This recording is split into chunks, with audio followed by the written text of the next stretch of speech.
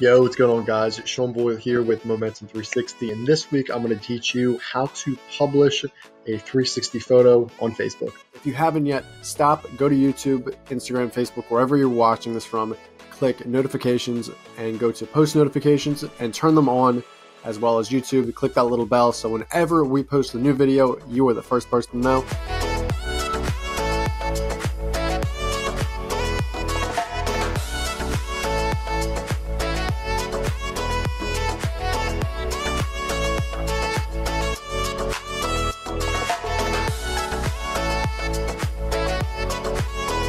So how you go about doing this is really simple. What you need to do, and I kind of touched on this last week, right, when I instructed on how to become a Google Trusted Photographer, you need to actually go on Google Street View and remember how I was telling you guys, if you didn't watch the video, you can watch it right here. We'll put a little image, which you can click and then watch the video.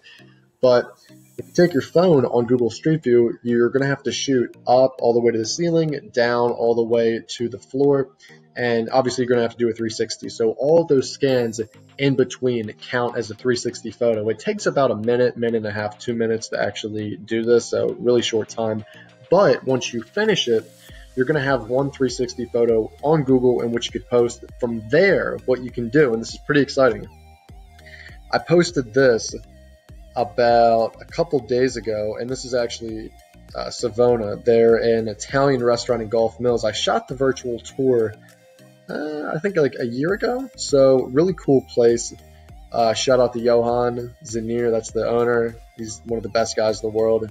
Really humble, but produces a pretty amazing product. So even though this is a little blurry, this is still a tremendous place. I would recommend you guys check out Savona Gulph Mills. We'll put that uh, text right there so you can check it out. A couple pictures of it would be nice too.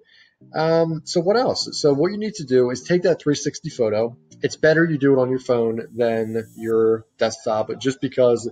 Um, well, for me, I actually have a Lenovo, but for uh, people who are using a Mac, it would probably be a little bit better uh, if you did a Mac.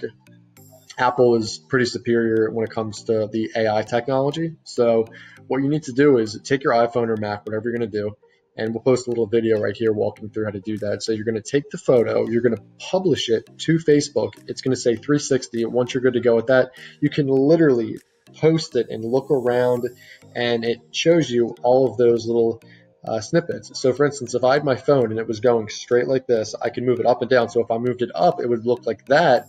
If I went down, it would look like that to the floor. So it directs exactly how you move your phone or computer. So it's so freaking cool. I love it.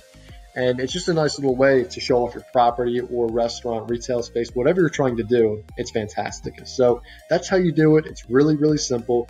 If you guys have any questions whatsoever, please let me know. I'm actually going to be making two videos this week because this one was so short. So if you guys have any questions, leave them in the comments below. If you haven't yet, throw a like on the video, subscribe. You know what to do.